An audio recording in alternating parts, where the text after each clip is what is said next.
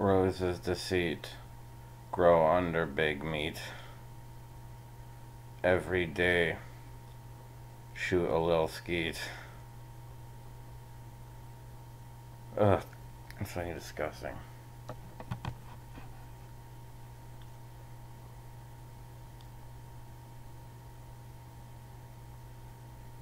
This is an invocation of Azazel. Azazel, I offer you the cigarette. Possess my body with your swarms, but heal the damage done.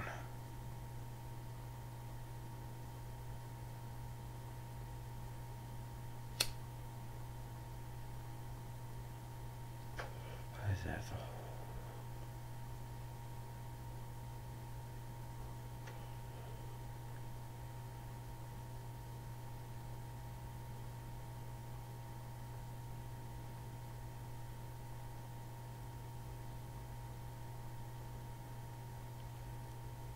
I must tell you all.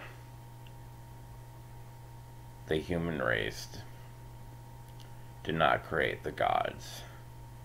The human race created the demons. Therefore, demons are more natural to us than gods. At any given point, space, or time, there is infinite potential. Split the nucleus of a freaking speck of dust. Just imagine all the dusts turning into nukes.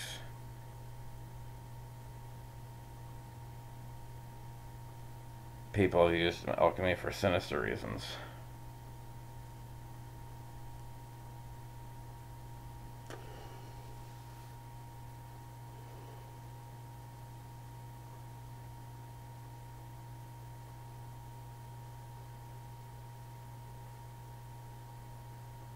Next I'm going to be calling on Paimon to co-possess me.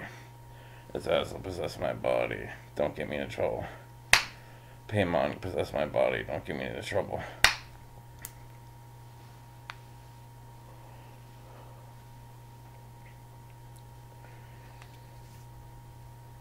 Oh. Oh, son of a bitch. I called the Elder Marks Markshin. Possess my body. Mark my forehead with beauty.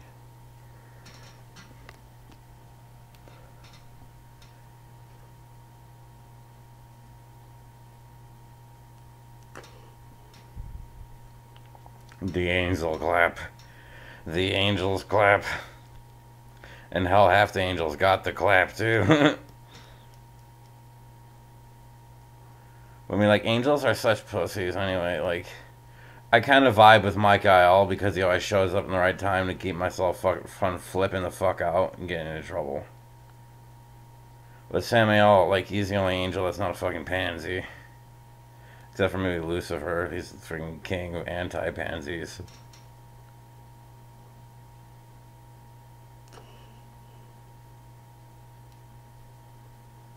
So I'm going to teach you a meditation. Randall session over. Look at yourself in a mirror. See the Star of David on your forehead. And when you when that image is solidified, let the Kundalini slide out the Star of David and be replaced by hummus.